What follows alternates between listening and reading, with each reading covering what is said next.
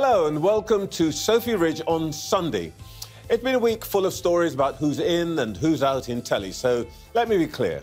Sophy's just taking a break, and the bosses here thought that on a Sunday bank holiday weekend, you might appreciate a bit of Sky's answer to Antiques Roadshow. I'm Trevor Phillips. Sky's hit show Succession builds to a climax this week. This morning, Westminster's writing its own dramas. Suella Braverman reckons her thriller, Stop the Boats, might pull in the viewers. In TV, we usually want more people on board. The Home Secretary wants fewer foreigners landing here. Some of her political rivals are working on a very different script. The Chancellor, Jeremy Hunt, wants more, less well paid workers to keep the wheels of the economy turning and inflation down. But over in Emergency Ward 10, the Department of Health, they're tearing their hair out because the hospital set's falling apart and there just aren't enough doctors and nurses to play all the parts. And on the rival network, Labour, they've been trading new shows for months. More doctors, more houses, more jobs. But they're yet to tell us much about how they're actually going to deliver. Still, it's a year or more before we know who's going to top those election ratings. Stay tuned for 60 minutes of gripping viewing. In just a moment, we'll hear from the Health Secretary, Steve Barclay. And for Labour, I'll speak to the party's shadow Work and Pensions Secretary, Jonathan Ashworth. With new claims about Boris Johnson and plenty of other stories of sleaze once again in the papers, we'll talk to the chair of the Standards Committee, that's Labour's Chris Bryant. Someone likely to ride to the defence of the former Prime Minister is the Conservative arch Brexiteer, Andrea Jenkyns. And we'll try to cut through the political noise about immigration following those record net migration figures this week and get some facts from the chair of the Migration Advisory Committee, Professor Brian Bell.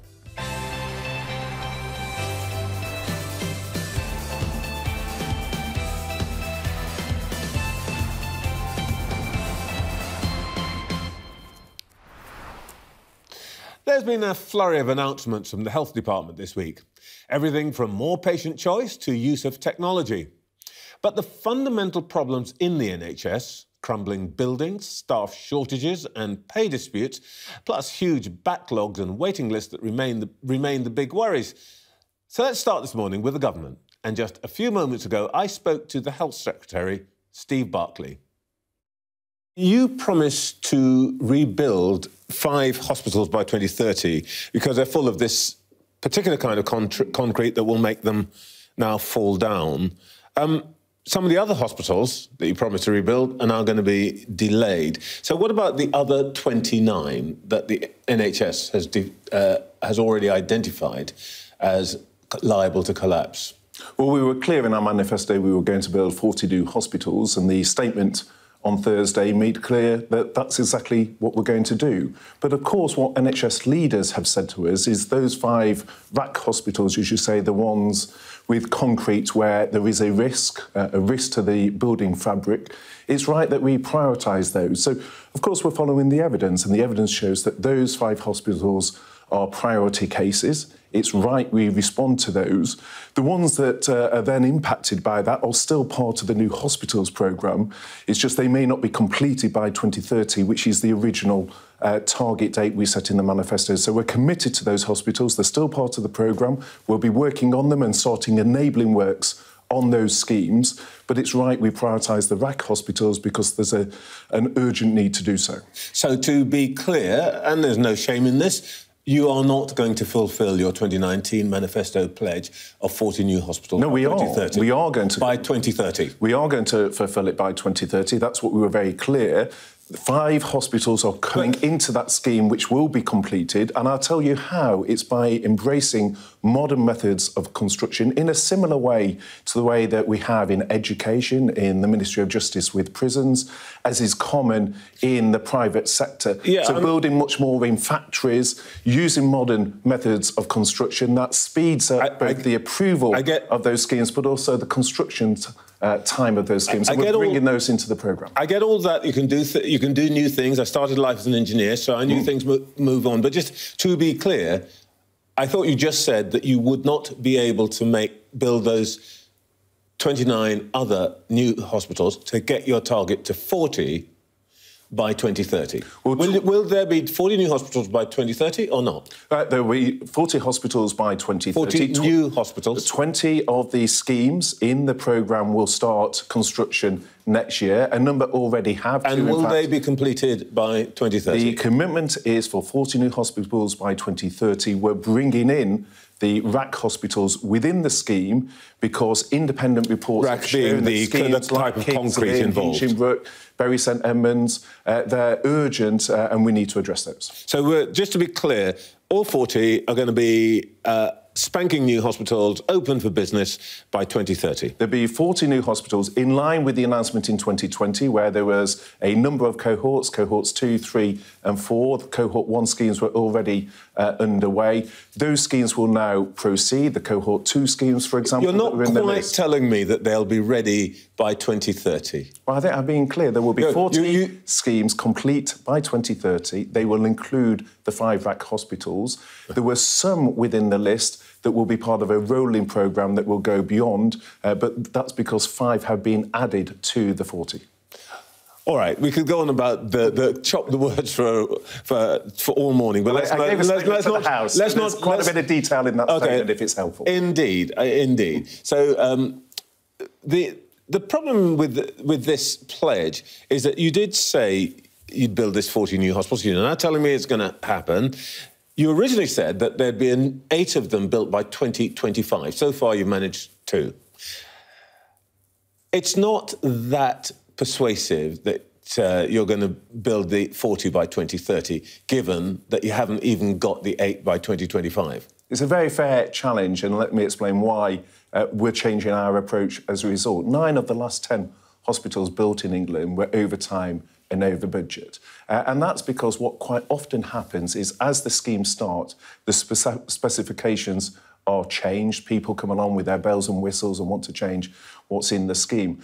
By taking more time and having a standardised approach, what's called the Model 2.0 hospital, so a standardised approach that allows us to bring all that expertise into one design, then go out to market and have the economies of scale that the NHS And this is something that's very common in the private sector. We've already done it in education and in prisons. It is a fundamentally different approach for how the right. NHS will build its buildings, but that's how we will accelerate the programme by using modern methods All right. of construction. OK, we will revisit this, or somebody who's sitting here will revisit this with you in a year's time. Um, now, at the RCN annual conference, Pat Cullen, General Secretary, said that you'd emailed her and agreed to meet. How did that meeting go? Uh, we had a very constructive meeting uh, this week, uh, working with Pat. Pat obviously was uh, deeply involved in the original negotiation. She recommended that deal to her own members. She said that it constituted real yeah, progress. Yeah, they said no, though. Well, she negotiated the deal uh, with me and the rest of the staff council.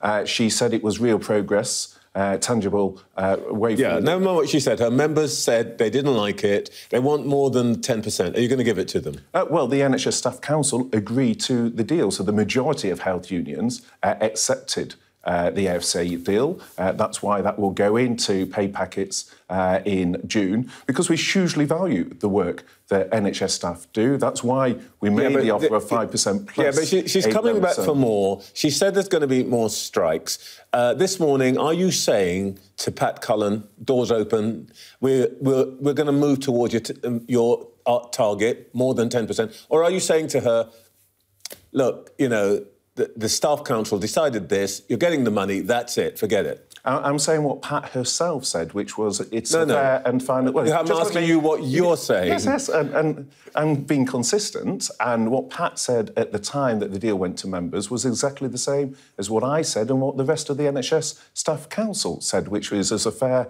and final settlement, a 5% uh, pay increase plus a lump sum. It means a Band 6 uh, entry nurse gets over £5,000 over the two years, recognising the huge, valuable contribution that NHS staff have made. Okay. Now, what some in the RCN are asking us to do isn't legally possible. It's not possible to give a Band 6 nurse a different pay to a Band 6 midwife or a okay. Band 6 paramedic because uh, they're grades okay. that are rated, they're jobs that are evaluated in the same way. But Pat herself said this was real progress. She recommended the deal. Indeed, I, she negotiated. We, we all know what Pat said, but what matters is what her members said, mm. and they said they do not like the deal that uh, you've negotiated that has been accepted by the Staff Council. They are a big union. And whatever, about a third. What, whatever, whatever, it's only Pat, about a third. Yeah, it's a very whatever, narrow vote, and it's a small number. Whatever Pat may or may not have said to you in your meeting, the point is her members don't like it, and what you're telling me, and I'm uh, forgive, you know, tell me I'm, I'm wrong. The words I've picked out of your answer there are full and final. What you're saying to them is that's your lot. Well, we're going to make that payment in June to all uh, over a million. Uh, no, you've told me that, but staff. this is the, you're, you're not going back to the negotiating table with the RCN. Well, not on the amount of pay. There's things in the deal that we agreed with the NHS Staff Council, where there is further work around pay progression, uh, around uh, yeah. violence against staff, around pension abatement. There's various things okay. within the deal, and we've agreed a package of work with the NHS Staff Council to take those forward. But this is okay. something that the Staff Council as a whole voted on. Unions like Unison, uh, over 70% supported okay. this deal, uh, and we will get this payment out to people in their June settlements. OK. Um, one of the other things uh, in that discussion with the nurses is the long delayed workforce plan, which you promised in November 2018. Any chance we're ever going to see that? Well, the Chancellor committed to the long term workforce plan in the autumn statement. Uh, it is a big, complex uh, set of proposals. It's right that we take our time uh, to get the detail of that uh, right. Uh, we will bring that out uh, soon, but it needs to. hang on, hang on. When is soon? Four and a half not, years is not soon. well, it was announced in the autumn statement that we were bringing this forward. Obviously, we've had a, pan- in November we've had, a, we've had a, a pandemic and various things that have been happening in recent years. But the autumn statement gave a commitment from the Chancellor to have a long-term workforce plan. It's something that colleagues in NHS England have been working intensely on. We need to look at both the additional numbers and how we grow our domestic, domestic workforce, but also what reforms we can put in in terms of using our skills mix better, using new roles within, within the NHS in different ways. So it is a complex piece of work. It's right we take our time uh, to get it uh, as it should be, uh, but we will bring that out very soon. I, I, I, I respect your, your, answer, but when you say take your time, you've already taken four and a half years. The Chancellor's committed, OK, fine. Is the Chancellor committed to paying the money that any workforce plan, let's go into the detail, but it's going to cost you money, has he committed to paying for it? Well, of course, any uh, expansion of uh, domestic workforce will come at a cost. There's a cost in terms of the, the training itself, there's cost from uh, higher numbers in terms of the, the, pay for those roles as well. But it's also about looking at what reforms we can bring yeah. forward as part of that plan. But of course, these are discussions we have on a cross government basis, and that will be part of Health, the announcement. Health Secretary, I, I, can sort of hear a sound there, and it feels like the sound that I associate with cans being kicked down the road again. Now, I'll be very clear. The, the plan will come out very when? shortly. It will be shortly. I'm before not going to announce before the next a election? specific date. Well, yeah, before indeed. the next election. Absolutely, very shortly. Uh, but I'm not going to give a okay. date this morning. Very a huge shortly. amount of work has gone in to okay. this, uh, and uh, you know it's something that we're having okay. discussions on as we speak.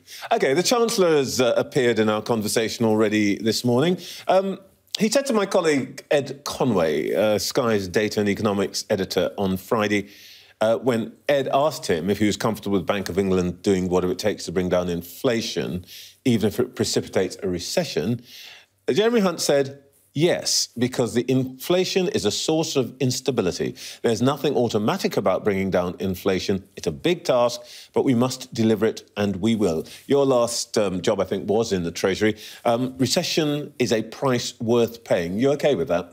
Well, we've been clear. The Prime Minister's uh, five key commitments includes growing the economy, and I was very pleased to see that the IMF rated uh, our growth, 0.7% yep. uh, increase. So we do need to halve inflation. We need to grow the economy and we need to reduce debt. And that is why those are the first three key commitments from the Prime Minister in terms of okay. his five pledges.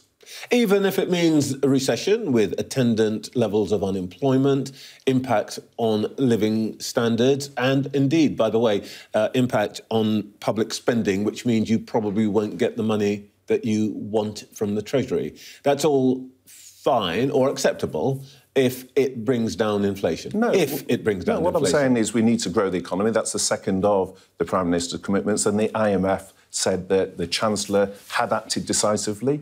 That was reflected in the uprating of our growth forecast from the IMF just this week. So, growing the economy is one of the Prime Minister's five pledges. We're committed to doing so, just as we are to cutting waiting times. And my focus in terms of the Health Secretary, through announcements this week, like on patient choice, empowering patients, the yeah, Patients Association saying that on. could take three months uh, off people's waiting times. That's what we're focusing as, as Come the... On, though, the, we, we, we got a glimpse of honesty from, from the Chancellor. Uh, Mr. Sunak's pledge one, bring down inflation, pledge two, bring uh, raise growth. Sometimes those two things are going to be in conflict, and the Chancellor's been very honest. He says inflation is number one target for a reason, and if that means you know that we have a recession, so be it. Doesn't want it, but it might be. Why can't you say the same? Well, do, do, you disagree with him? You started, you? you started the interview talking about the cost of the new hospitals programme, and clearly one of the areas where inflation has an impact is on construction costs, building materials, uh, double-digit increase at the moment. So the impact on inflation is important to the NHS. But what we have seen from the Prime Minister and from the Chancellor is their commitment to funding the NHS. 6.6 billion contributed at the autumn statement additionally to the NHS, and most importantly, up okay. to 7.5 billion for adult social care, because how we integrate health All and right. social care is hugely important. So the right. priority let, at the autumn statement was health and social care funding, and we have that right. commitment let, from the let, Chancellor. Let, let's just get to the nub of what the difficulty is here. All this means borrowing, and the cost of borrowing is climbing. Um, uh, we had a look at the uh, the bond yields, uh, and here we can see it. Look, you're up to uh, four point four and a third percent now, which, if I uh, if I read it rightly, this is the highest April figure for borrowing costs since 1997. You are not going to be able to afford any of this because of the borrowing costs, are you? Well, as I say, the IMF uh, commented this week that the Chancellor has yeah, that, acted decisively. Don't, don't, appeal to the IMF because every time they say that, that you're in trouble, you say what a load of rubbish they are. Let's just deal with what well, you usually think. you quote them in the inter- interviews. I, I don't. Do, so, I'm not quoting them. so I've just uh, responded to that. I didn't but, quote them. These are your numbers. But my focus as Health Secretary is to get the waiting times down, and that is what we're doing. If you look at the contrast between our approach in England, which is working, where two-year waits were eliminated virtually in the summer. 18 uh, month waits down below 11,000. Uh, if you look at the contrast I, with so Wales, where in Wales it was 74,000 for I'm, 18 I'm, waits, so 18 month to, waits. So that's what we're focusing on. The Chancellor back. obviously is looking at uh, the economic but, side, but what we're doing on the health side is getting point, our waiting times down. But the down. point is, you were responsible at one point for this role, and you know, with borrowing costs at that level, the Chancellor cannot do all the things that you've just been talking about. Well, you that's why the Prime Minister set out the five pledges he has in terms of halving inflation, growing the economy, reducing okay. debt. But the fourth one is the one that and I core inflation went up. The fourth one is the one that core I, inflation went up from I think 6.2% to 6.8%, which is why you've got those interest rates climbing. Well, CPI has come down, uh, and it's good to see uh, that coming down. So inflation has come down, but we need okay. to, to go further. But my focus as Health Secretary is on the fourth pledge, right. cutting waiting times, and just look at the contrast between England and Wales on two years' waits, on 18 month waits. Well, Wales, with a much smaller population, has around 74,000 patients waiting more than 18 months. We got that I, down to below 11,000 at the end of March. And I, I, won't say it, say it for you, Wales has got a Labour government on. Here, you say you want to cut waiting times. One of the ways you're going to cut waiting times is by having more people in hospitals, more doctors and nurses, because that's mm. a control factor. Um, Suella Braverman wants to reduce the number of people coming into the country. Let's just first ask you this. Um, do you think that people who voted Brexit understood that when you said take back control, that meant uh, controlling immigration to the highest net number in our history 606,000 this week? Well, as a Brexiteer, when people talked about taking back control, it was about the ability to decide who we bring in and what works best for our economy. And that's why we are expanding the medical workforce. More than uh, yeah, 5,000 doctors Yeah, on the doorstep. They weren't year. saying that. They well, were saying to control in order to bring it down, not to get to 606,000. It, it, it was to things like stop the, the small boats and the illegal migration. No, no, no, no. We're talking legal migration. On legal migration. But on doctors, we, you're right, we do need more doctors and nurses in our hospitals. That's why we've got over 5,000 more doctors, over 11,000 more nurses than this time last year. So we are increasing our workforce. Now, part of the so when you say that to the when you say that to the Home Secretary, she says, "Oh, absolutely, Stephen, absolutely. I completely agree. What we need to do is to make sure that even though I'm going to bring the, the numbers down to, she said last year, less than 100,000, we're going to make sure we have more doctors." Well, the Home Secretary is absolutely right on the need to bring the numbers down, and the Prime Minister uh, reaffirmed his commitment to bringing the overall numbers down. I think there's a distinction to draw between, for example, some of the abuse of student routes, people coming in on a student visa and then changing, uh, looking at the number of dependents. And we announced this week uh, a tightening of controls, particularly where people are coming on undergraduate student courses uh, and dependents are coming as well. So there's areas. Of course, the numbers have spiked because of Ukraine and Hong Kong, more than 100,000 from Ukraine. Yeah, come on. Over 50. And I think that's something most people come. actually welcome and accept. Come on. So but, there has been. Come on. Well, the ONS. No, no. Well, the ONS you're one of the few politicians that I know can actually add up. You can do maths. You reduce the numbers from 600,000 to oh, below 100,000. Half a million uh, people out of the immigration figures. Where are your doctors and nurses going to come from? Well, if we have. If you're if you're stopping half a million people, we're, we're confusing. You're not getting more doctors and nurses, are you? I think we're confusing two different things. So, firstly, no, 600,000 legal migration, which includes your doctors and nurses. I think, as the ONS themselves said, there was a spike because of Ukraine on Hong Kong, which I think most viewers accept was the responsible thing for the UK when to you, do. And you, when you strip out the, I think it's about 320,000 Ukrainians and Hong Kongers, you've still got more than four 500,000. Well, which is why on Tuesday the Home Secretary announced a tightening of the rules, particularly around dependence uh, of students, looking at some of the enforcement around okay. student moves. So there's things there. And in terms of the medical community and the NHS, it's two things. We do need international okay. recruitment. That is something that the NHS has already always relied on. But we also need to grow our right. domestic supply. And that's what the long-term workforce plan, which quite rightly okay. you highlighted earlier, is about growing our domestic supply. All right, look, before uh, I let you go, uh, I'm sorry to say this, but there's one person who can seem never seem to uh, get out of the news, and that is your former Prime Minister Boris Johnson. Um, is it all over for him? He claim he says that the uh, claims that are uh, being made about yet new issues for him are all nonsense. Um, he's got to hand over. The Cabinet Office has to hand over uh, the unredacted WhatsApp me- messages from him to the COVID inquiry, and he's now got himself a new legal team. So it's all a terrible mess. But is Boris Johnson toast now?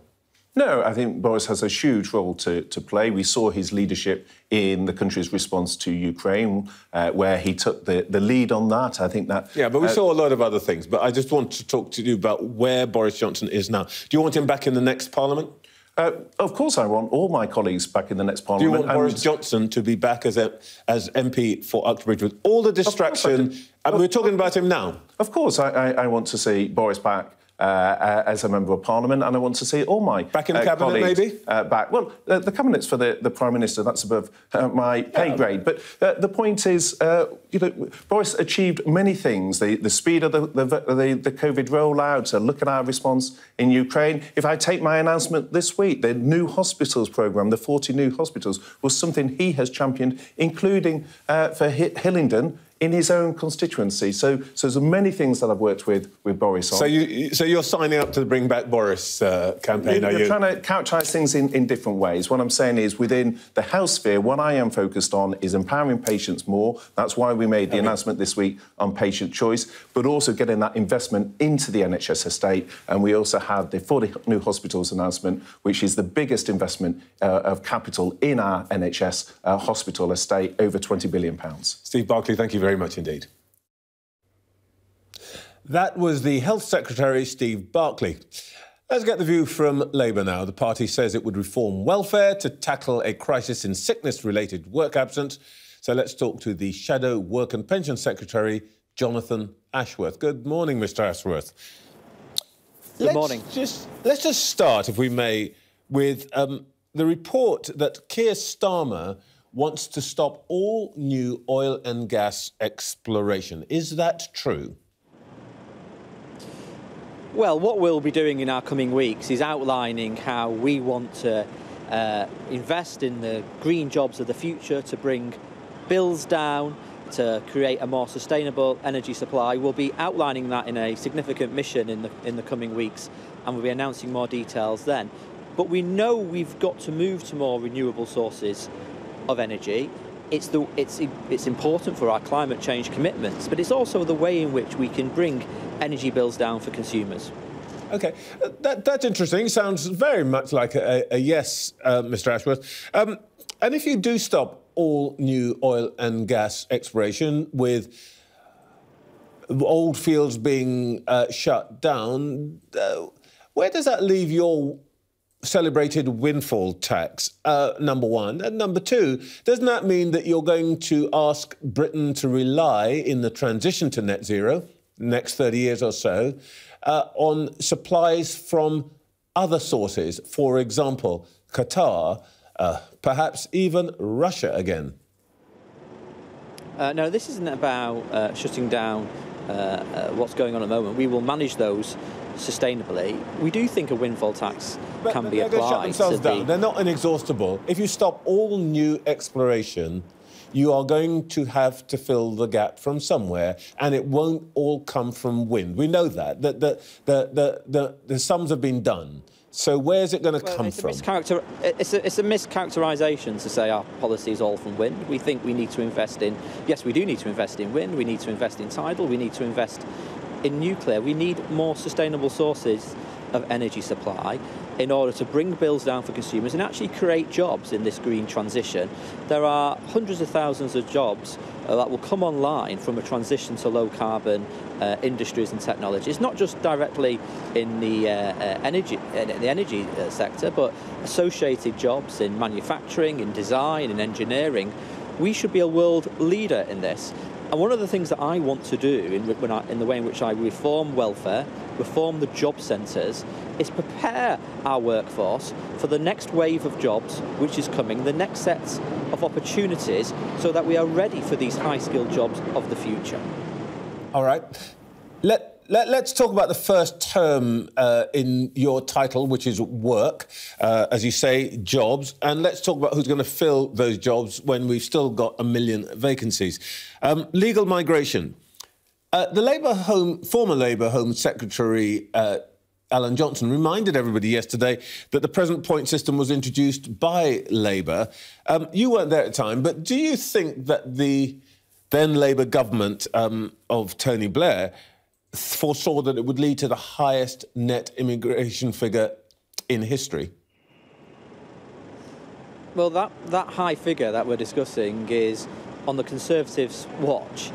And they gave us. Did it come uh, from uh, the system that you introduced? Let's, let's not blame the Tories for everything. it was your system.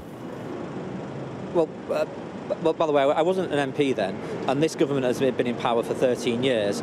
So I'm sorry that I'm going to focus on the 13 years of this government and not something that was happening when I was at school and university. Look, the immigration system, we want to see migration lower than it is, but immigration is in many ways a reflection of your health of the labour market. And when you've got a million people unemployed today and a million vacancies, when you've got 700,000 young people neither in work or training or education, And when you've got hundreds of thousands of over 50s and people who are currently signed off sick but say they would want to work if given the right support, then I believe we should be skilling people, investing in people's training, fixing the red tape and bureaucracy in the e-apprenticeship levy, but also fixing the way our welfare system works and our job centres work to give people the skills and opportunities to move into work. Ministers cannot even tell you how many of that 1.3 million people unemployed and on benefits are actually on a training programme. They don't even collect that data. I think that is utterly hopeless when we know that firms are trying to fill vacancies in this country today.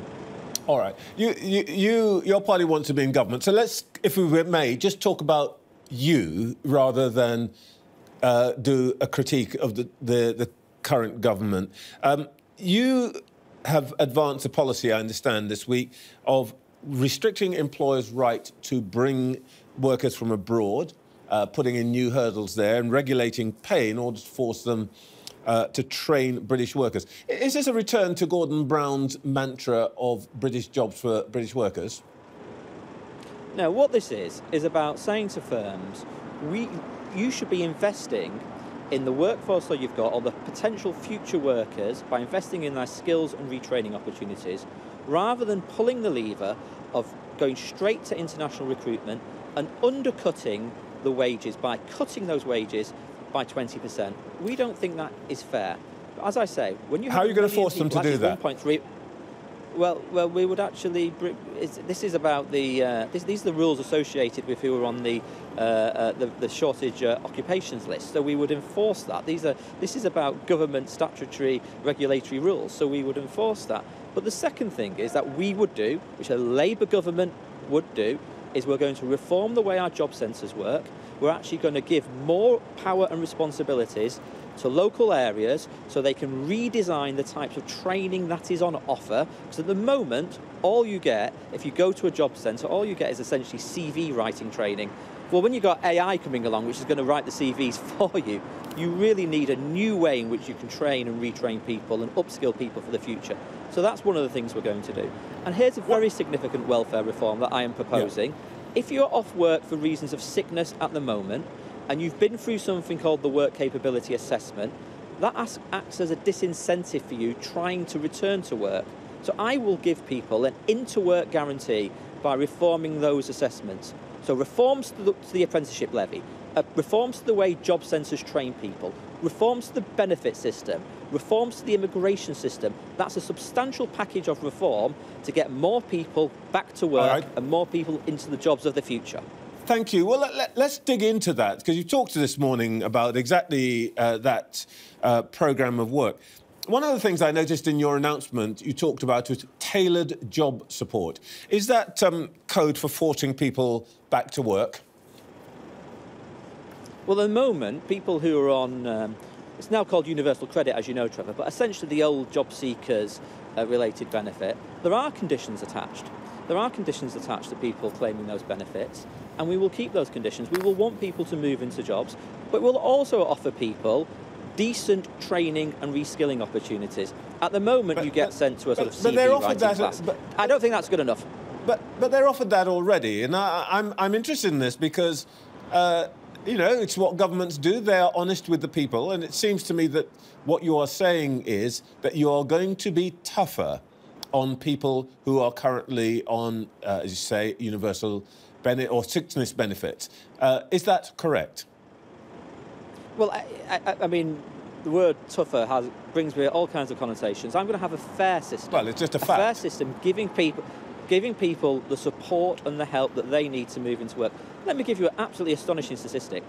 Older people out of work and sick and disabled people out of work, even though many of them say they want help to move into work, only one in 10 are getting any support to move into a job. I think that is absolutely extraordinary and is writing off huge numbers of people who's, who have got huge, who've got huge potential to contribute and who say they actually want to work. So we've got to reform this job centre system. And we've got to reform the way in which our, our benefit assessment system works. Okay. They are some of the practical reforms I am putting forward which will help people get back to work because I don't think it's acceptable. Look, uh, actually, the government actually copied some of my reforms. They said they're going to do them, right. but actually, they're not going to do them for years and years. They're relying on international recruitment. All right. Jonathan Ashworth, thank you very much for your time this morning.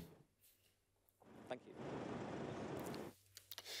You're watching Sophy Ridge on Sunday this week with me, Trevor Phillips. Still to come on the programme this morning, in just a moment, I'll speak to the Labour chair of the House of Commons Standards Committee. That's Chris Bryant. And a little later, we'll hear from the Conservative MP and Brexiteer, Andrea Jenkyns. But first, let's get some immediate reaction from our deputy political uh, editor, the guru, Sam Coates, who's been watching all our interviews. Sam, um, what have you heard that interests you this morning?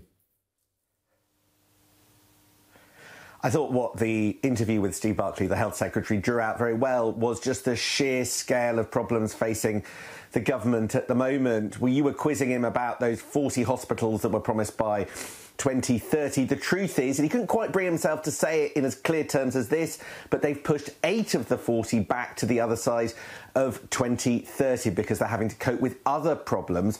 But that's just one issue in the in tray of ministers at the moment. At the top of the list, pretty much, is that there are red flashing lights on the dashboard of the economy. Yes, the IMF did say that the government uh, growth forecast, they upgraded Britain's growth forecasts, but there is a big looming problem. The cost of borrowing, as you were putting to Steve Barclay, is going up. That's going to make doing things for this government more expensive. It's also going to push up millions of people's mortgages. If the economy is going to get worse and growth is potentially going to stall because of that, and I think the Tories are in for a very difficult year when they thought they were going to be able to rely on some green shoots. Okay, thanks, Sam, and thank you. By the way, I got that uh, borrowing figure from your um, your long read on the Sky News website, but we'll we'll talk more about it later on. Thanks very much. Now, it's a cliche to say that Boris Johnson is never far from the headlines, but I think we've got to roll it out this week as the former Prime Minister was once again all over the news with new allegations of lockdown breaking and diaries passed to the police. Then there was a row between the COVID inquiry and the Cabinet Office over his WhatsApp messages, and then another argument over his government appointed lawyers. Oh, well, Sky News spoke to him exclusively in the United States, and this is what he said about those new claims. This whole thing is a load of nonsense uh, from beginning to end. And uh, we made that clear in the, the statements that I've issued. Um, I think that it's ridiculous that ele- elements in my diary should be cherry picked and handed over to uh, the police, uh, to the Privileges Committee, uh, without even anybody having the, the basic common sense to ask me what these entries referred to. What do they refer to? There, there is absolutely nothing in those entries that constitutes uh, rule breaking during COVID restrictions. Okay, mingling and with friends whole, at Chequers. No, when you shouldn't that, no, that is absolutely not what those diary entries show. That is not what those diary entries show, and the whole thing is totally nonsensical. Well, look, if we can find our way through the murk. This coming Tuesday is a deadline for the Cabinet Office to provide unredacted WhatsApp messages to and from Boris Johnson to the COVID inquiry. Plus, the House of Commons Privileges Committee is due to deliver its verdict soon on whether former Prime Minister Midless misled the House. And that's likely to provoke another almighty row. And in just a moment, we'll speak to the Conservative MP and Boris Johnson supporter, Andrea Jenkyns. But first, let's talk to the chair of the Committee on Standards, uh, Chris Bryant. Good, Good morning, morning, Mr. Bryant. Thank, thank you very much for joining us. Um, now, we've just heard uh, Boris Johnson flatly denying fresh allegations of lockdown rule breaking and so on. He says nothing to see here. Um, and I know you can't get into the details because you're chair of the Standards Committee, but um, what's your immediate reaction to uh, his assertion? Well, the, the trouble with Boris Johnson is that we have heard him deny things in the past, which has subsequently turned out to be true. I, I can't remember the inverted. What was it? His line was an inverted pyramid, pyramid of piffle. Of piffle. Yes, I can't remember what, what that was, but anyway, it proved to be completely and utterly true and not an inverted pyramid of piffle at all. So, um, and and it is true that sometimes Boris Johnson finds himself innocent in the court of his own opinion, but um, and you're right. I, am very hesitant to get into the specifics of this case because um, a there's potentially a police investigation. B there's the privileges inquiry, which I'm not party to. I recused myself um, from, from chairing that because I believe that I, I already had a view as to whether Boris Johnson has misled Parliament and done so recklessly or deliberately. Um, I, I, wonder and, what that might be, Mr. Bryant.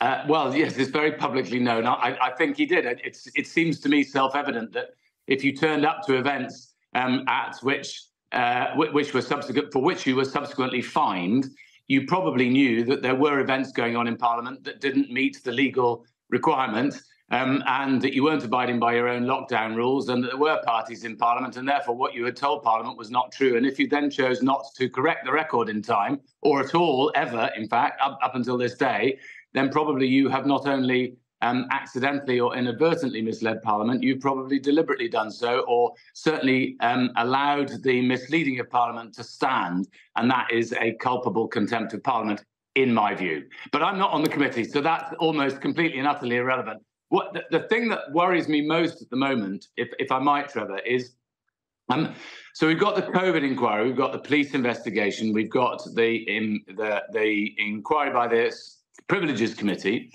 We've also, in the last week, um, had the ministerial code, um, uh, a decision on the ministerial code in relation to Suella Braverman. I think that was an odd decision, but be that as it may, that's yet another body that's been doing an investigation. Um, you also have um, this week there have been uh, stories in the press today that MPs have been claiming, or some MPs have been claiming, um, speeding or parking fines on their expenses. Um, and that is regulated by yet another body, which is IPSA, the Independent Parliamentary Standards Authority. May, um, sorry, may I just, stop worry. You? Yeah. May, may, I just ask you, actually, I, I want you to come to that point about uh, MPs claiming uh, the cost of parking fines on their expenses. Two things. First of all, um, are you going to be investigating that through your committee, number one? And number two, from what we know the rules at the moment, is that actually wrong? Uh, well, it, as I was about to explain, weirdly, um, the rules on expenses are governed by IPSA, a separate body. And my committee the Standards Committee has no power to investigate. Um, well, in fact, we can't investigate anything. It's only the Parliamentary Commissioner for Standards investigates if he thinks there might have been a breach of the rules and then reports to us and then we adjudicate on them. Um, but IPSA is a statutory body, so it's laid down in statute law and it has a um, uh, an officer who is there solely to decide whether people have breached the, um, the rules and they would then refer things to the police because it's a criminal offence to, to um, uh, false accounting or, or, bre- or, breaking the laws on um, parliamentary expenses. So no, we can't investigate. Um, it, uh, to my mind, it is manifestly wrong. I don't care whether it breaches a rule. It is manifestly wrong for somebody to, you know, if you're an ordinary member of the public, you can't go off and uh, if you uh, parked uh, if you've been caught parking in the wrong in the wrong place at the wrong time or not having uh, getting a parking ticket or a speeding fine, you can't claim that on your daily expenses, can you? So I don't see why there should be a, why why MPs should be any different. Sadly, Sky is not that kind to, to us, and um, of course we have to say that we, we don't know who those MPs are, and they can't be here to answer for themselves. But um, you set out no. the principle very clearly. Um, there's a general issue, I think, which is now building up, which is the relationship between politicians and civil service. Uh, on Tuesday, the Cabinet Office has a deadline, and that's a deadline for uh, sending the unredacted versions of Boris Johnson's WhatsApp messages to the COVID inquiry. COVID inquiry has demanded them. Um, do you feel confident that the Cabinet Office is behaving correctly and that the inquiry is getting what it needs from the government? Well, I, I, read, you know, you can't believe everything you read in newspapers, as you know, Trevor, but um, I, I, read a newspaper account which seemed to suggest that the COVID inquiry was having to use um, powers, which incidentally, not even my committee, the Standards Committee in Parliament, has. Um, and, and, the COVID inquiry has them under the um, Inquiries Act to force government ministers to provide things. Um, there shouldn't be, you would have thought that well, it's the fundamental principle of good government that openness and transparency um, is there. The ministerial code says in terms that no minister shall ever refuse to provide some information unless it is um, legally necessary to do so. Um, and so I think there's a danger here that if the COVID inquiry doesn't get everything it needs in a timely fashion, that it will feel to the British people as if ministers are trying to obstruct um, uh, a proper inquiry. And, and that will be uh, both a breach of the ministerial code and morally offensive. There are lots of people, you know. Uh, I mean, my constituents still want to understand why so many people died in care homes, um, and there was no proper ring of protection put around them, and yeah. people were sent to care homes. So I think people want to know the truth. Is, is all I was going to say. And sorry, one month, one month. Sorry to bang on, but one other thing. My worry is that we have so many different organisations and so many different rules that it's actually very difficult for the public and, for that matter, politicians to understand who's it, who's who governs, who regulates what particular bit. The ministerial code, the civil service code. Um, I think all of this is ripe for reform. The whole system is simply not fit for purpose anymore. Okay. Chris Bryant, thank you for banging on with us this this morning. Sorry. That's what we're, no, that's what we're here for. Thanks very much for your time. Right, let's get what I anticipate might be a slightly different perspective now. A very staunch Boris Johnson supporter seen wiping tears away as he left Downing Street. I want to speak to the Conservative MP and Deputy Chair of the Brexiteer ERG group of Tory MPs, Andrea Jenkyns. Good morning. Uh, yeah, good, morning, Trevor. I'm no longer deputy chairman, um, but by the way, but um, yeah, I've I've stepped down from that when I became a whip and a minister. So, but um, uh, good, okay. good But but but you are still um, an extremely influential voices voice in those circles, I am told. Um, look, there there are lots and lots of questions, as ever, swirling around Boris Johnson. Um, how do you react to what Chris Bryant has to say. I mean, both the words that Chris Bryant used, but also the overwhelming sense of distrust and um, uh, almost, I suppose, contempt for Mr. Johnson. Um, before I answer that, um, which I, will obviously answer Trevor, you know, because I'm quite blunt spoken. Can I just um, go back to what Jonathan Ashworth said for one second? Um, he was just in the job centres, but we are doing amazing stuff. I was briefly the skills minister. You know, we have the boot camps, which you can get the technical skills, the HGV skills. We've got Kickstart to help people to it. So it's not just about the CV building. I just wanted to put that on the record. Now, okay. regarding um, I mean, look, we, we know that Chris is uh, as outspoken as I am, but on the other side of the fence, and he's never like Boris. And if anything, there's there's a real hatred from the left um, of Boris Johnson, which I haven't seen um, since you know Thatcher's funeral, to be honest. And I, I do think it's unfair. I think lines are being blurred where the civil service is concerned. I mean, for um, you know, for some civil previous civil servants to come out and publicly say um, that I, you know, was responsible for bringing Boris Johnson down.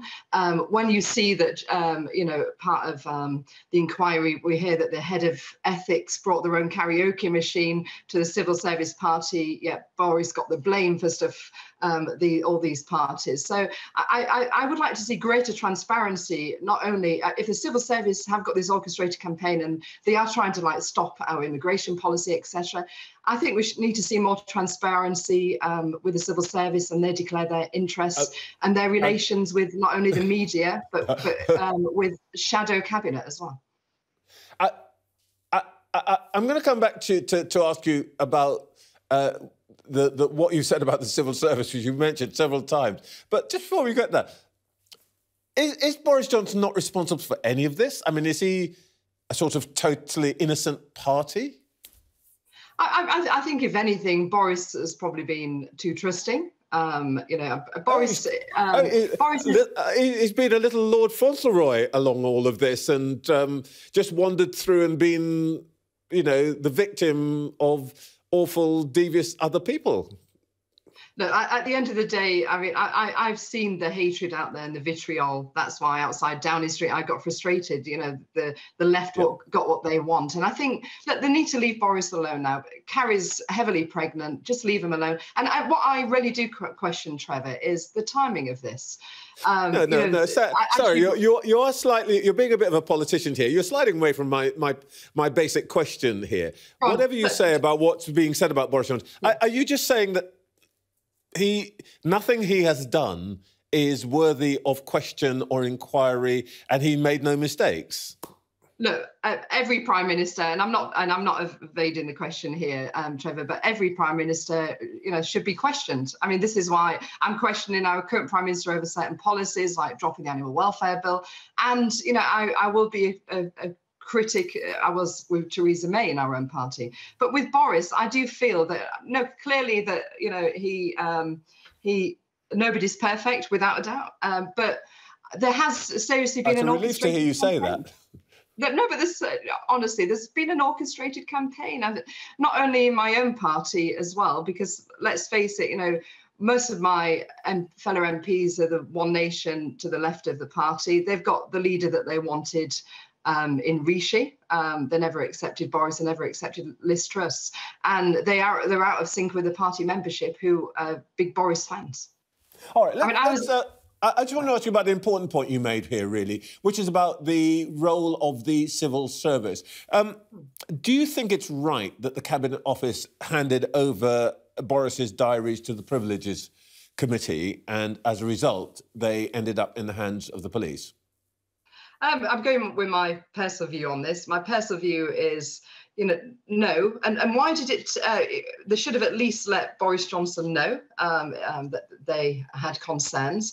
But I go back to the timing of this. Why all of a sudden, when the COVID inquiry is wrapping up, and um, we saw with a um, with a committee um, that um, that didn't really um, it, it, wasn't strong evidence i didn't feel i thought boris came out very well in the committee um, so I just question the timing of this as well, to be honest. All right. Well, as you say, you've been pretty blunt. I mean, you've been pretty blunt on WhatsApp, and um, I think uh, we've seen some of your messages this week. Um, you talked about hypocrisy and sanctimony. Um, yeah. Do you want to tell us, name some names? Who are you talking about? Um, well, I mean, the, the person at the top, Simon Hoare, um, during um, Theresa May's time, you know, he was quite vitriolic on social media. I had to block him in the end. So the, the say about blue on blue and um, you know let's keep this in house, etc. But it, those who throw the first stone, you know, that they they, um, they, they need to make sure that they're not devoid of doing the same thing. okay, so, so we've got Simon Hoare. Who, who, who, who else is in the enemy crew? I mean, not enemies. I mean, I have to set the record straight with this. Uh, you know, we, would all much rather see the uh, a conservative government than a socialist government um, with all their wokerati agenda. So, um, I mean, I also blocked um, the chief whip during that time, um, who's now the chief whip. So, you know, these to, to me, you cannot. Sorry, go with, on, Trevor. With, with, with, with the greatest of, of, respect, I mean, you know, I'm, I'm, I'm a novice in politics, but uh, I have to say, if you want to see a Conservative government, um, yeah. these WhatsApp messages, bring back Boris and all of that, uh, Rishi, always a bit weak, uh, all of the things that you've been saying, they, they don't seem like the best message to send to the electorate if what you want to do is to get the Conservatives re-elected. I, I mean, um, look, I, I, Boris and Liz was the prime ministers and you know the party leaders who I supported. I didn't support Rishi, and um, you know that's life. Under Theresa May's time, we, um, I mean, when Boris got elected, we saw members of the party who wasn't happy with that. But oh. I mean, ultimately, we do want to see a Conservative um, elected, and and if anything, Trevor, what I'm trying to do, I'm trying to be outspoken, which I can't be anything else. I'm a Yorkshire woman, and I've been brought up to be honest and blunt. Um, I, and I, if if anything, I'm trying to, you know, actually uh, challenge some of the policies that's coming out at the moment to because I know what policies are working in my area and actually to, live, to deliver on our manifesto commitments. Okay, just very quickly on a yes or no. So being blunt, Rishi Sunak, you want him to be leader uh, when you go into the next election? You're happy. You're go, you're you're, you're going to stick with it now. well, as I've said publicly, I am. I, to me, it depends on the polling, Trevor. I mean, uh, this is me personally. Oh right. Well, so come on, it'd be political suicide to um, look. Come on, I'm a pragmatist as well. It'd be pretty political suicide okay. to change leader again now because we'd have to go into a general election, and what we'll end up with 100 seats. It, Why would you do it, that? I want to see a Conservative government elected.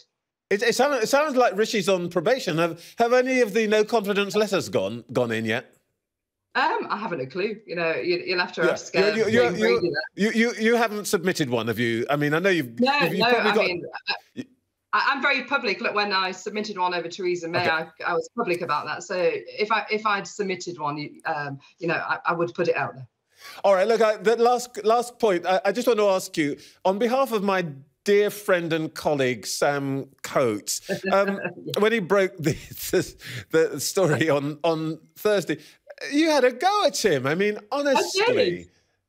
But, no, well, oh come on, come on, Trevor. I mean, I Sam, Sam is not a woke fest. I mean, honestly, you're, you're impugning the integrity uh, of one of the best reporters around, and with it, the entire Sky crew. I feel personally affronted. Like, no, come on, Trevor. I, I like Sam, and um, and you're pretty decent as well. But but come on, we, we know that the media that they're, they're waiting to you know stories to hear that the party's falling apart. But but we're not. You know, if you look at, I'm sure the Labour MPs WhatsApp. You know, you get people who's happy and not happy, and it's been very leaky for the eight years that I've been an MP. So uh, that's politics.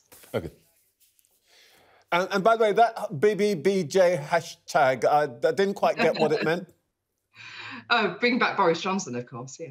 I mean, not that he and, wants to come back. I don't believe he does. But, but Andrew, Andrew Jenkyns, we, we, we really ought to do this. We really ought to do this again. Thank you so much for your time this Thank morning. You. All the best. Have a good day. Bye bye. Thank you. Gosh, that's the first time an MP's described me as pretty decent. Anyway, let's get back to uh, other matters. You'll be forgiven for being a bit confused when it comes to migration. Home Secretary's once again in the Sunday papers, promising to bring migration numbers down, something Home Secretaries and Prime Ministers have been doing for years. The thing is, the migration numbers went up yet again to a new record all, of course, after we've left the EU. Here's the state of play of the last few years. Last year, net migration, the number of people coming here minus those leaving hit more than 600,000. So, what's going on? Uh, well, I can speak to someone who should know and studies the facts. Professor Brian Bell is chair of the government's Migration Advisory Committee, and he's here with me. Good morning, Professor Bell. Morning. Um, we can see the spikes in net migration uh, in the last couple of years. Um, there are a lot of people coming here from on schemes from Ukraine and Hong Kong and so on. But actually, there is a longer term trend, isn't there? Can you talk us through what the underlying numbers are and why they're so high? So I think that chart's quite a useful chart in the sense that um, if you strip out the big changes in the last year or two, we'll actually have a long run net migration number of around 200 to 250,000. So the sort of numbers we were seeing 2017 to 2019 will actually be where we'll get back to within a year or two. The big rise in the last couple of years, three big, three big reasons. One, the humanitarian schemes you've mentioned, uh, an increase in students. The universities have been recruiting a lot more international students in the last couple of years, and there's been an increase in the work visa programme. Some of that's temporary, and so we will get those numbers down. They will come down in the next few years. We'd expect to around about a quarter of a million, but they won't go any further than that. That's where the long run trend is. Leaving aside the humanitarian uh, issues, um, can we talk about what's in the government's control? As you said, the, the, government's made some changes to rules on workers and students. Um, do you think that the government's policy itself has contributed to these increases? Uh, well, I mean, clearly it has. I mean, the government has, for example, an international education strategy that says that universities should aim for 600,000 international students. The universities have delivered that. But you have to issue visas to those international students, so inevitably the net migration number goes up. Similarly, um, you know, most of the work route, uh, the majority of visas on that work route are issued to the health and social care sector, which is the one bit of the economy that the government control. So, you know, if you're going to bring in nurses, doctors, social care workers, you're going to have to issue visas for them.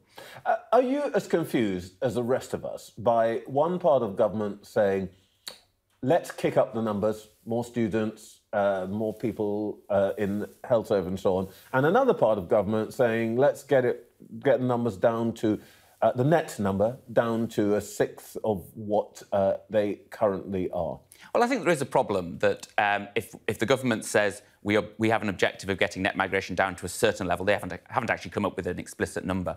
But if they're committed to doing that, you can't then say, but we need more visas on this route, we need more visas on that route. There needs to be some consistency. I think one thing that would be helpful would be if the government focused on the long run numbers. So don't worry too much about the fact that it was 606,000 this year. We understand why that was. Um, the more interesting question is if you get back to the average of about 250,000, is that acceptable? And if it's not, you will have to change policy to bring it further down.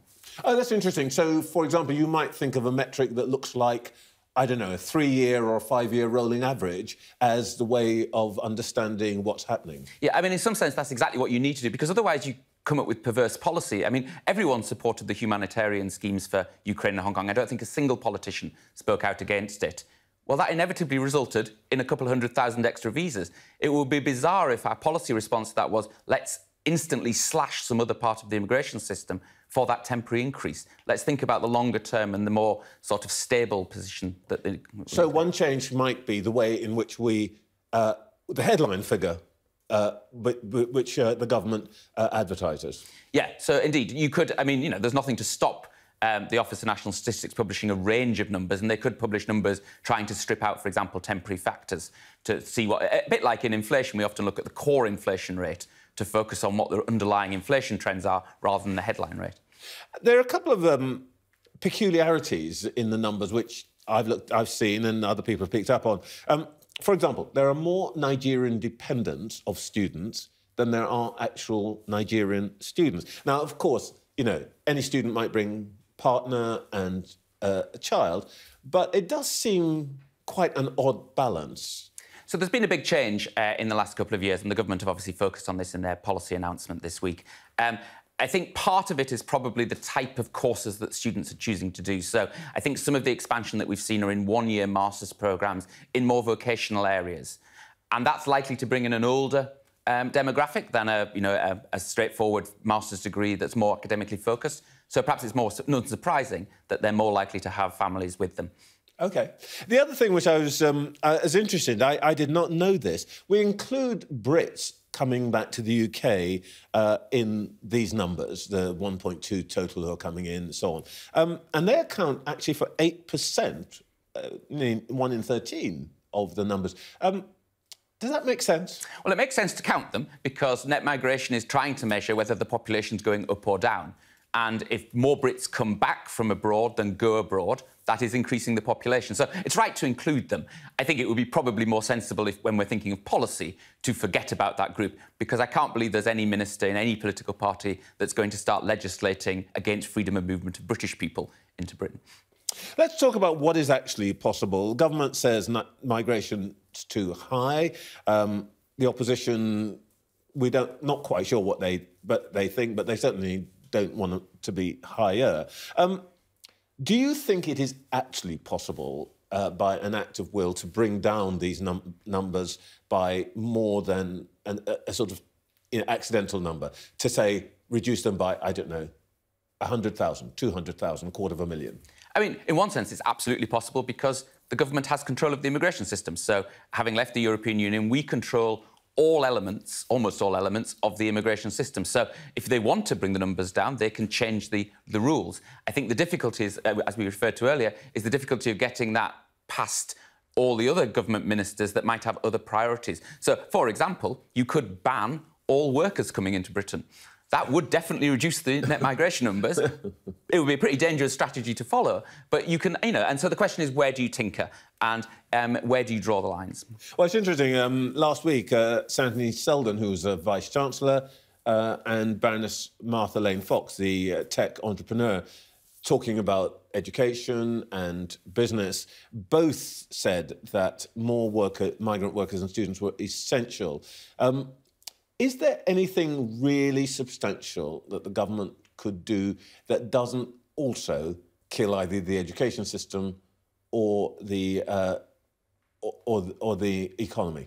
Well, so let's think of the, the economy is a good one to think about. So um, we bring in um, 100, in the last year, we brought in 100,000 workers on the health and social care visa. So that's, they were much, they account for about a seventh of employment in Britain, but over half of all work visas were issued to that sector.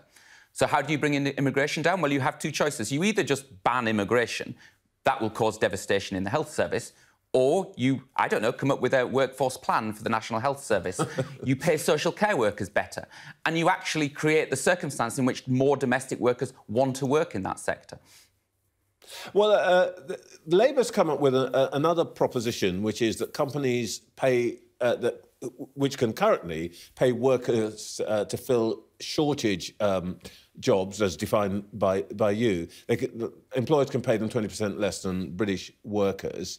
Um, if that policy were enacted, what effect do you think it would have? Do you think it would work to bring down numbers, but would it have other consequences? So um, I should start by saying that this is a policy that the Migration Advisory Committee has recommended to the government for the last three years.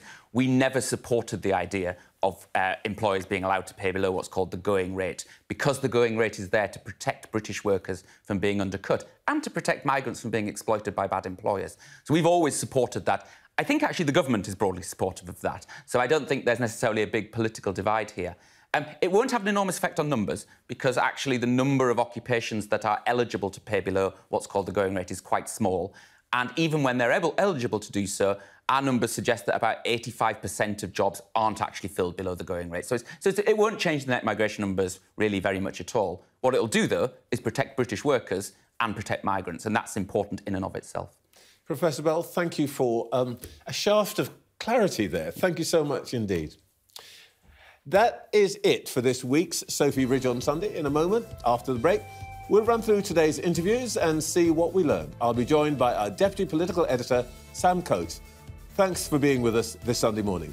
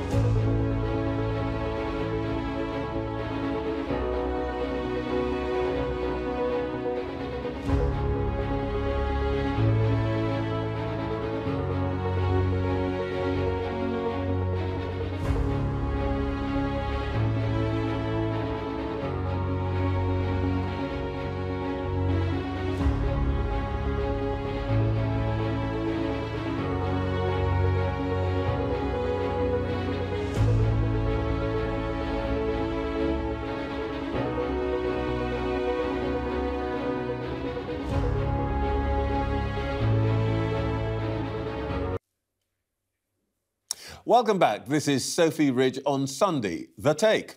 This morning with me, Trevor Phillips. This part of the programme is a chance to look back at our interviews this morning and try to work out what we've learned and what it means for the week ahead.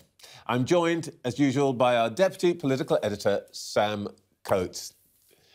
Good morning, Sam. Um, now, we talked a little bit about um, the Conservatives. Uh, speaking as uh, Andrea Jenkyns tells me, the hammer of the Tories. What, what do you make of uh, what we've heard about the party's own difficulties this morning? Well, this week, uh, Sky News brought you news of the skip fire going on inside the Conservative Party. That was the phrase used by Jackie Doyle Price. Now, she's a Conservative MP, and she wrote that the Tory party risks becoming a skip fire as it engulfs in yet another round of internal debate, conversation, and row about Boris Johnson. Because even though he was two prime ministers ago, conversations about the former Tory prime minister just dominate. They suck the oxygen out of the room of British politics, making life so much harder for uh, Rishi Sunak, his uh, his successor.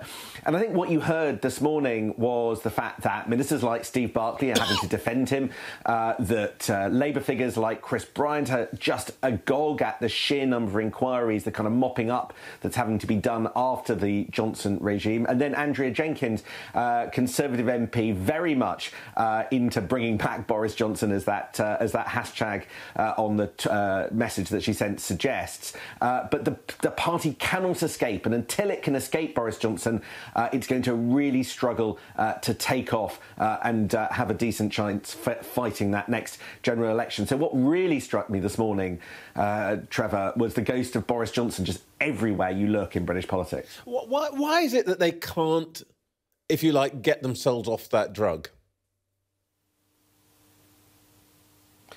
I think that's a very good question. It's partly because uh, uh, some of them, perhaps a minority, worry that the kinds of political talents that Boris Johnson still has for all the problems uh, were the key to the 2019 general election victory, and that without those, you're not going to get a repeat of uh, uh, that in 2024. Rishi Sunak, too much of a technocrat, too much uh, of a sort of managerial figure. But I think there's, I, I, I, actually think there's simply an unhealthy obsession in some senses uh, with, uh, with, with, with Boris Johnson. There's so much mopping up to be done uh, that you end up sort of, uh, the party ends up defaulting about it. It's almost like uh, the Conservative Party's great big displacement act to be discussing the former Prime Minister, because it's not like there aren't other challenges. You put them to Steve Barclay very well, whether it's the rising cost of borrowing, the problems with the 40 new hospitals in the NHS, or issues around migration. Look, the big, big, big problems here.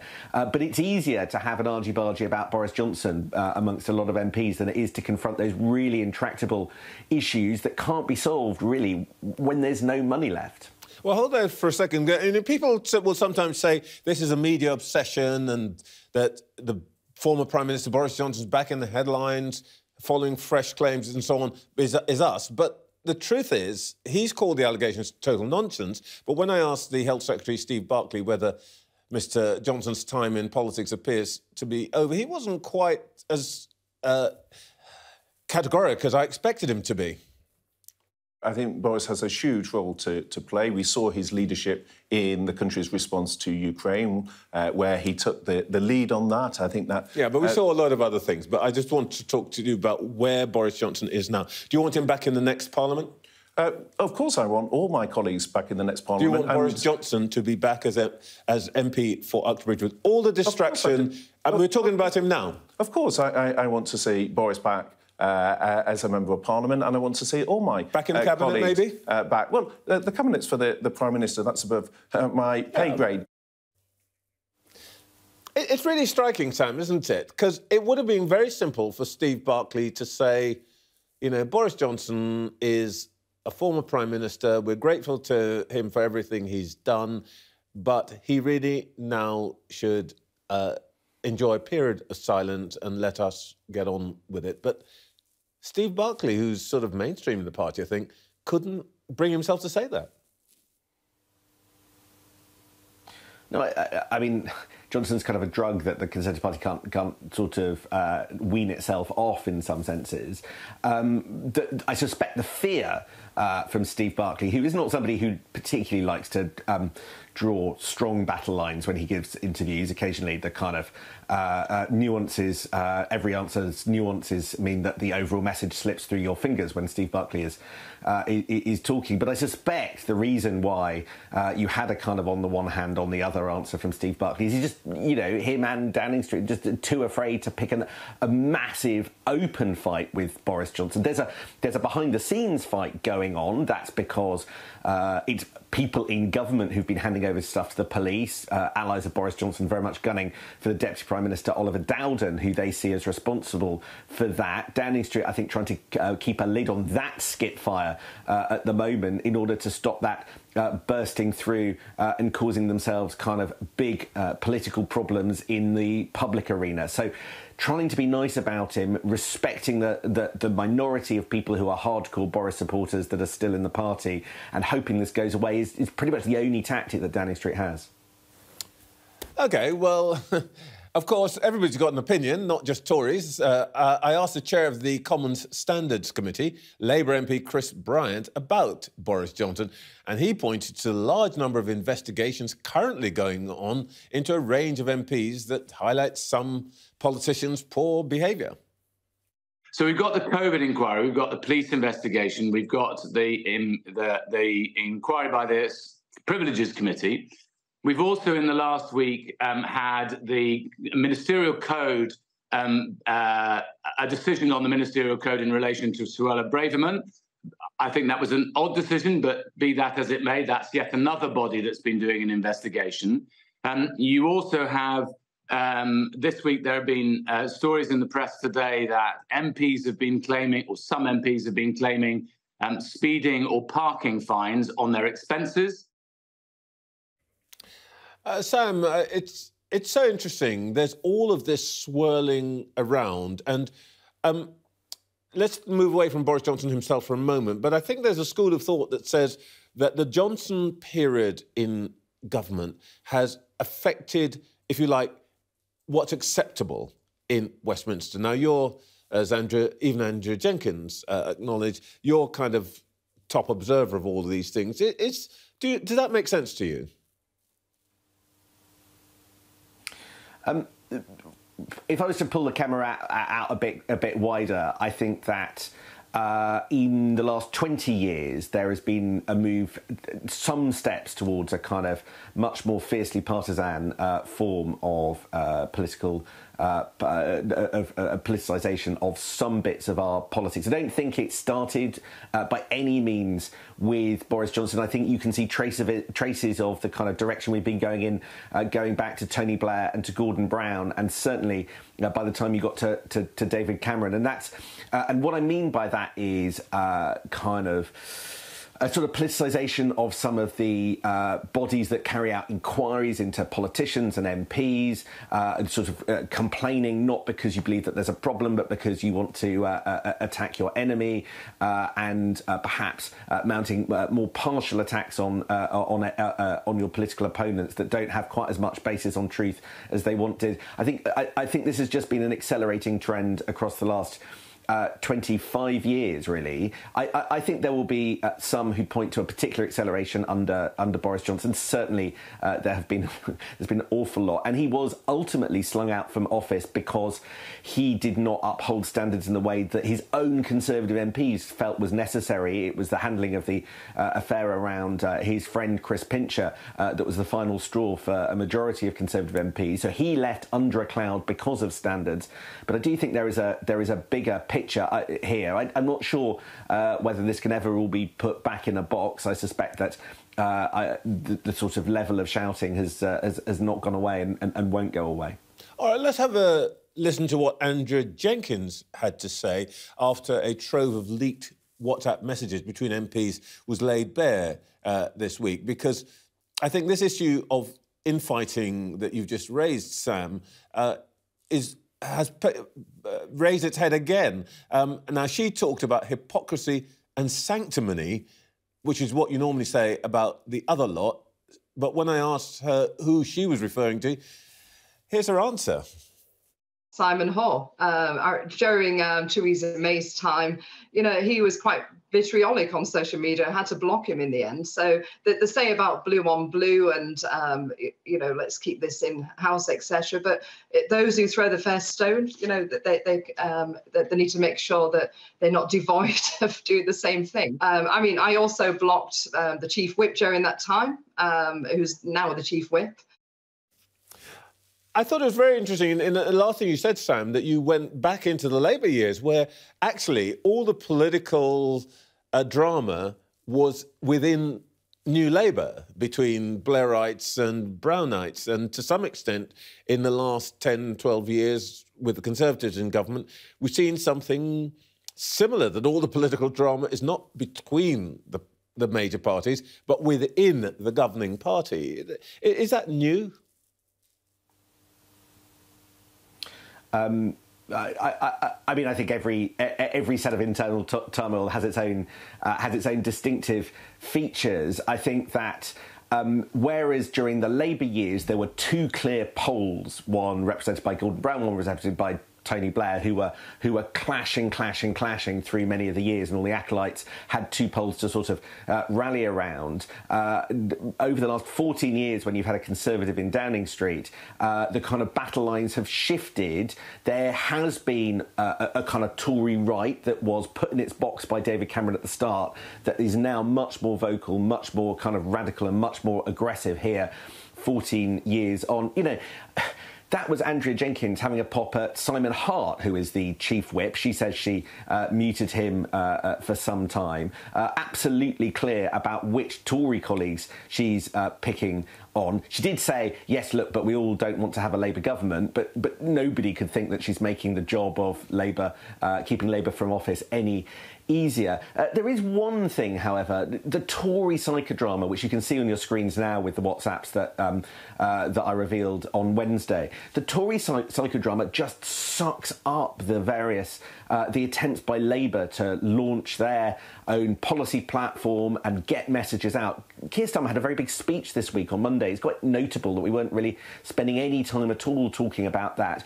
We don't really and this is our bad in the media apart from anything else, we don't really have a sense of what the different strong opposing poles within Keir Starmer's shadow cabinet are in anything like the way that uh, perhaps we did when Jeremy Corbyn was leader, uh, we did when Tony Blair and Gordon Brown uh, were prime ministers, uh, because the Tory psychodrama has been so all consuming. This is going to end. It's going to end uh, as we approach a general election if Labour look like there's a serious chance, which it does at the moment, of there being a Labour prime minister in Downing Street, we are going to have to move away from this Tory psychodrama, which sucks all the oxygen out of the air, and, and, and, look at where the dividing lines and the fissures and the problems are uh, within Labour much more, much, more strongly. But at the moment, it's the Conservative Party that are falling over themselves on the telly, like they have been this morning, to tell us uh, how much they hate certain other members of their own party and how much they don't like the policy prospectus that the Conservative Prime Minister is delivering. Uh, and that is just inescapably always going to attract the attention of the camera. Okay, let's talk, let's talk about policy that might perhaps change that. I mean, people keep saying that uh, migration is not such a big issue. Well, new figures out this week showed that net migration to the UK last year hit a record high over 600,000. The Home Secretary said that the figure's too high, but bringing it down could create tensions with other ministers representing sectors that need skilled migrants. So I asked Professor Brian Bell, who's the chair of the government's Migration Advisory Committee, how those two strands of thought could come together.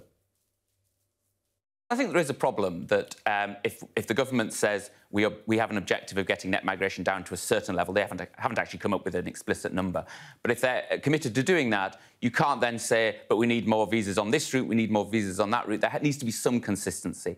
I think one thing that would be helpful would be if the government focused on the long run numbers. So don't worry too much about the fact that it was 606,000 this year. We understand why that was. Um, the more interesting question is if you get back to the average of about 250,000, is that acceptable? And if it's not, you will have to change policy to bring it further down. I, thought Brian Bell had a couple of rather interesting ideas about the way that we might uh, talk about the numbers here. But in essence, this is still a divisive issue both within and between the parties, isn't it? What Brian Bell did extremely eloquently was to highlight that the problem for Rishi Sunak is that migration is an issue that he controls but doesn't want to. The reason that net migration figures are high, in part, is because we allow in so many students. We allow in so many people to come and work in our healthcare sector. As Brian Bell said, we have allowed in a large number of people from Ukraine without commensurately taking the same number out elsewhere from our net migration figures. These high net migration figures are the consequence of government choices, yet other parts of the government are saying these numbers are too high. Actually, what's fascinating is the inherent internal contradiction in and by the government about their own policy when it comes to this. If you've got actual levers that you could pull, but very good reasons why you don't want to, because you want students, because you want to support universities, because you do need to support the NHS workforce, then don't say, getting migration down is my top priority using that set of statistics that includes the pe- very people that you are inviting in the country. I mean, it's, it, it, it's kind of nonsense. And yes, you can, in many ways, have different statistics, but, but really, you either have a coherent policy here or, you or, or, you don't, and it's different bits the Conservative Party essentially once again arguing with each other. What we don't quite have a firm grip on is the Labour position uh, and whether or not they want to get migration dramatically down. They put an emphasis on UK workers, uh, putting UK workers first. Yes, there is a touch of, uh, you know, British jobs for British workers about it. They'll never ever use that Gordon Brown phrase, uh, I suspect, in public. They talk about skilling up and uh, uh, potentially raising the minimum uh, starting salary for people coming in from abroad, something I think that quite a lot of Tories would like to do. Uh, okay. But do they want to reduce numbers dramatically? Uh, well, they don't say not, but we'll have to find okay. out. Sam, thanks very much. That's it from us on Sophy Ridge on Sunday, the take this morning. Sophy's back for the take on Wednesday evening at 9 pm.